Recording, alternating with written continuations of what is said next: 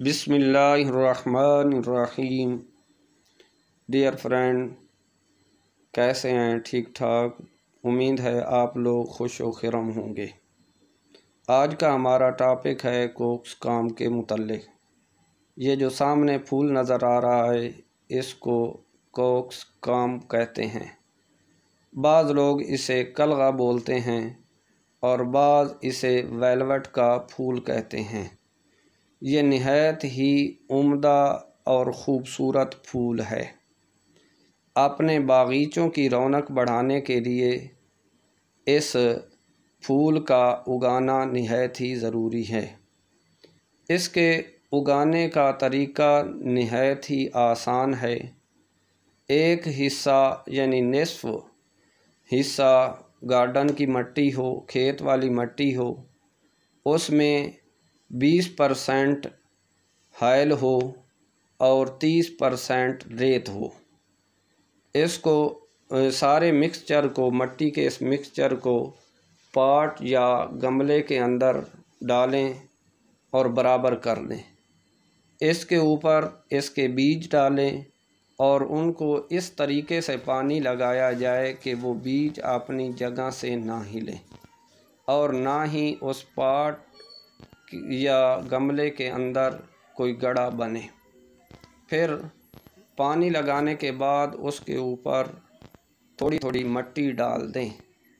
मट्टी डालने के बाद एक दफ़ा फिर किसी चीज़ के साथ इस तरीके से पानी दें कि वो बीज अपनी जगह से ना हिलें और गड़ा भी पैदा ना हो। फिर इसको रख दें। दो तीन दिन के बाद ये अपनी कौंपलें निकालेगा। ये शुरू से ही नहायत ही खूबसूरत पौधा प्लांट्स है। इसकी छोटी छोटी कौंपलें भी नहायत ही खूबसूरत नज़र आती हैं।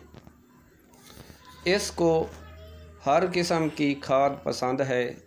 देसी खाद भी इस्तेमाल कर सकते हैं और दीगर खादें डीएपी यूरिया वगैरह, ये सब खादों को मानता है। और इसकी बीमारियों में से एक बीमारी है जिसे फंगस कहते हैं। ये बीमारी इसको उस वक्त लगती है जब इसके तने के साथ मट्टी लगे। जब तने के साथ मट्टी लगती है तो इसको फंगस हो जाता है। जब फंगस हो तो इसको अगर बागीचे में लगा है तो इसको निकाल देना चाहिए, ताकि इसकी फंगस की वजह से बाकी पौधों को फंगस न लगे। और ये नहायत ही खूबसूरत पौधा है, खूबसूरत फूलों वाला है। इसकी बहुत सारी वैरायटीज़ हैं, बहुत सारी किस्में हैं और इसके बीज दो किस्म के हैं, एक एफ़ वन है और एक एफ़ टू है। एफ़ वन इसमें बड़ा इसका फूल होता है और एफ़ टू में छोटा फूल होता है और इस तरह वो देसी होता चला जाता है।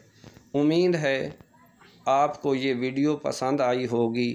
इस वीडियो को लाइक करें, शेयर करें, कमेंट्स करें। अल्लाह ताला आपको अपने हिफ्ज़ अमान में रखे। खुदा